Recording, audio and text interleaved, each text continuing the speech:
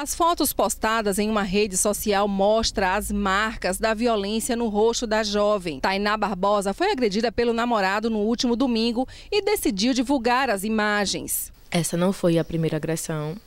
Já existiu uma outra agressão, mas que eu, cega ou por algum outro motivo, não denunciei no último sábado para o domingo.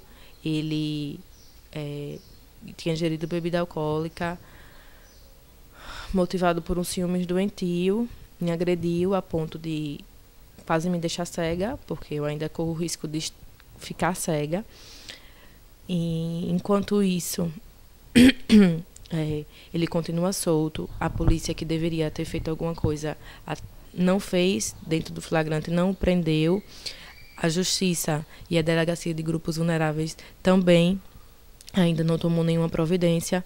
Foi por isso que é, indignada com essa impunidade e com tudo que eu, que eu tenho vivido, que eu não desejo para o meu pior inimigo nesses últimos dias, eu busquei é, mostrar isso para a sociedade. E, ironicamente, eu, estudante de direito, fazendo uma monografia com um tema cujo o tema era a Lei Maria da Penha, ironicamente, fui vítima e hoje vivo na pele é, o, o país das leis que não funcionam. Eu pretendo ajudar outras mulheres, por isso que eu quis me expor, estou me expondo e quero me expor ainda mais em busca de que é, isso acabe, isso o, o, essas pessoas comecem a pagar e entendam que é, que a gente precisa respeitar as pessoas acima de tudo. Eu quero justiça. Além de tudo, eu quero justiça. Ele cometeu um crime e ele precisa pagar por esse crime. Tainá ainda se recupera da agressão e acredita que a exposição na internet é uma forma de cobrar mais rigor e agilidade na punição.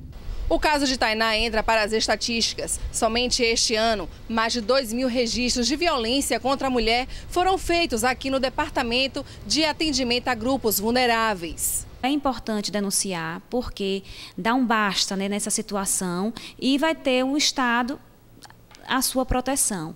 Porque o homem pratica aquela violência sabendo que aquela mulher é incapaz, é indefesa, não pode fazer nenhum tipo de. Né, não pode tomar nenhum tipo de conduta em relação a ele. E a partir do momento que ela toma iniciativa para a denúncia, ele se sente amedrontado. Até porque hoje em dia, com a Lei Maria da Penha, tem a questão das medidas protetivas, que se ele descumprir, pode ser preso né, é, preventivamente, tem a questão do auto de prisão em flagrante.